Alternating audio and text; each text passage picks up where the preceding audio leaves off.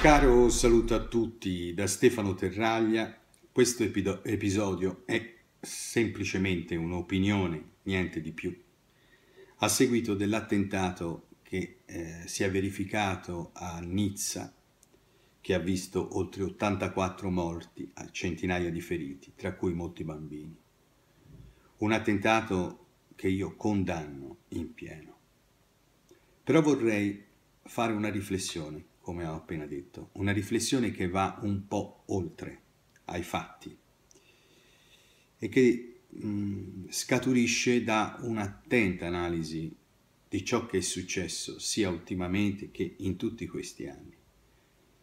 Molti di questa analisi l'hanno già espressa, anche se eh, a volte si ha, diciamo, un atteggiamento di indifferenza verso certe analisi, verso certe, eh, diciamo, opinioni.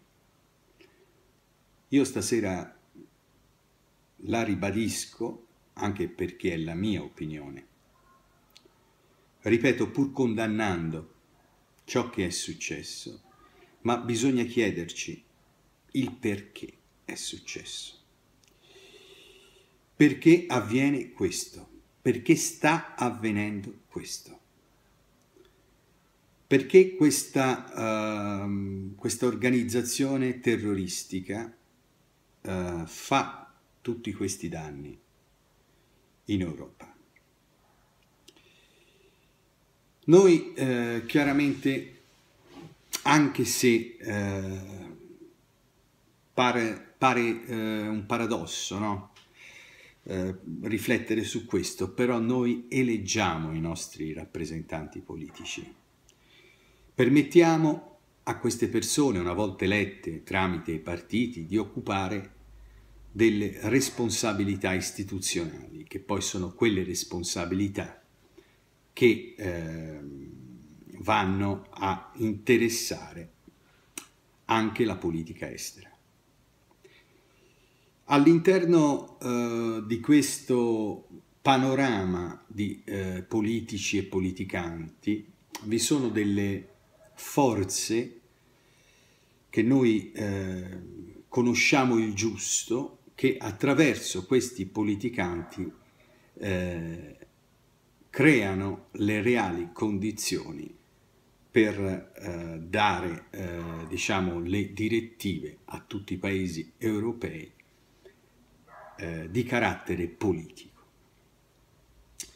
Queste, queste forze pseudo occulte perché poi alla fine si può immaginare di che forse si trattano. Le banche, le massonerie, le, le, le, le lobby di, di, di potere, il, i, le multinazionali e, tu, e tutto, no? che poi sono coloro che hanno il capitale, che questo capitale serve in un certo senso per permettergli un po' di fare quello che vogliono nel mondo quindi addirittura influenzando coloro che in realtà sono le persone che noi eleggiamo nostre, eh, con il nostro voto politico, che però sono quelle che ci vengono proposte, perché in realtà per fare una campagna elettorale occorrono dei soldi, per cui chi ha più soldi riesce ad essere più visibile, a conquistare anche in un certo senso il consenso del, del popolo. Una volta che hanno raggiunto eh, queste, eh, questi posti di potere, queste persone in realtà più che l'interesse di chi li ha eletti fanno l'interesse di tutta una serie di forze che eh, servono per poi eh, mantenergli quella carica, quel potere, per, per, per, fare in modo che queste persone vengano riconfermate alle, alle espressioni di voto successive, alle legislature successive. Ecco, tutto questo praticamente serve per mantenere a determinate condizioni in Occidente, quindi un certo tipo di, eh, di stato sociale.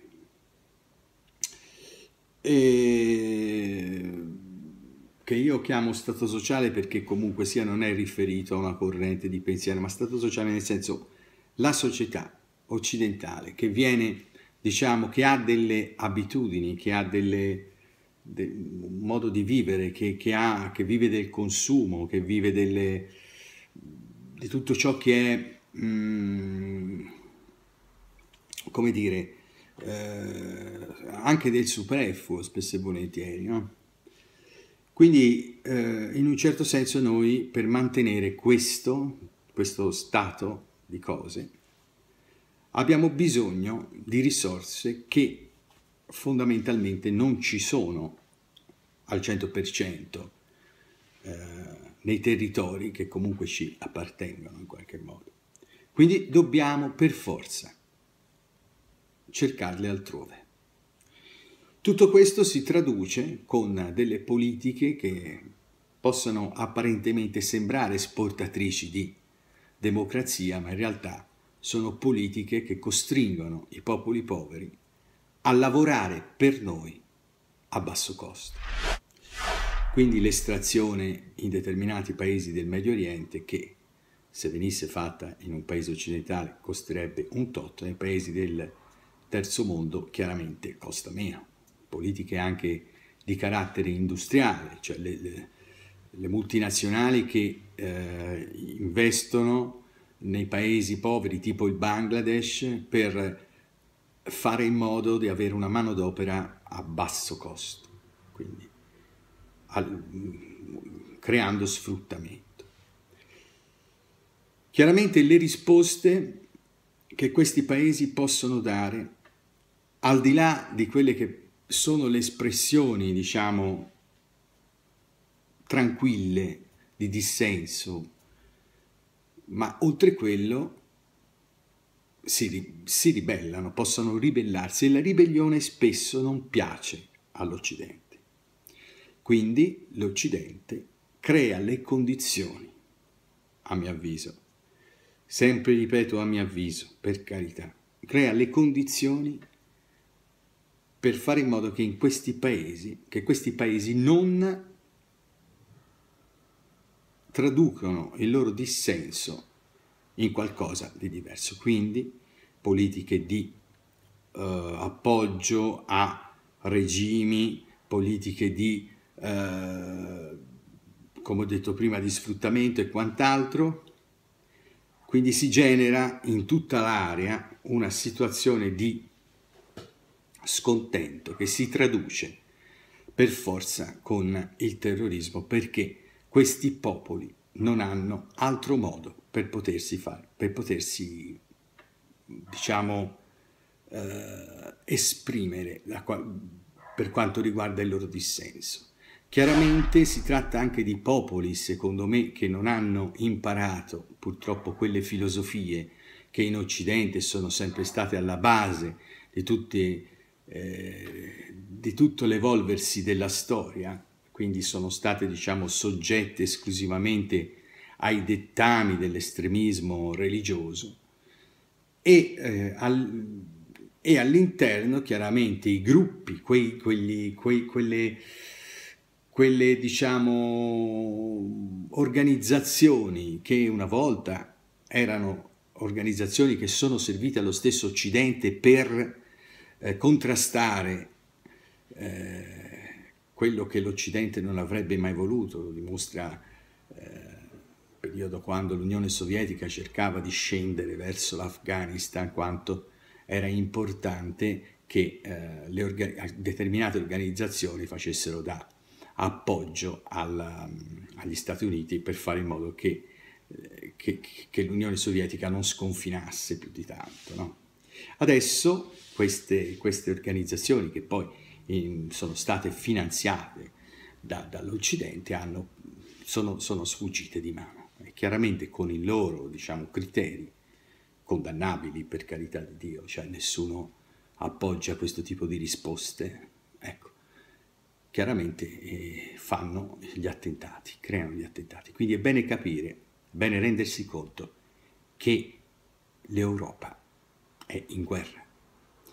Quindi, quando due paesi sono in guerra, c'è da aspettarsi delle reazioni spesso non convenzionali, del tipo come può essere successo a Parigi, a Nizza e in, qualche, in tutto il resto dell'Europa, quindi Belgio, e le reazioni non convenzionali non sono altro che le loro risposte. Chiaramente è impossibile per una tattica così povera raggiungere quelli che sono diciamo, i punti nevralgici del potere europeo, si scagliano contro la popolazione inerme, creando terrore, creando morti e chiaramente ferendo in qualche modo nostra, il nostro continente.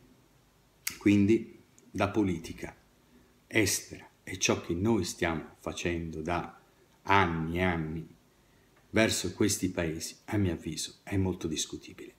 È lì che va rivista per risolvere questo problema, altrimenti andremo per forza verso un'escalation di, questi, di queste cose. Quindi è impossibile che poi eh, possano essere, diciamo, diventa impossibile che possano essere in qualche modo tenute sotto controllo perché, come abbiamo visto a Nizza, chi ha operato era un cittadino francese, quindi eh, si fa male, si fa veramente male. Quindi l'unico modo è ridiscutere, rivedere quelle che sono le nostre politiche internazionali. Solo in questo modo si può arrivare ad una pace. Grazie per l'ascolto.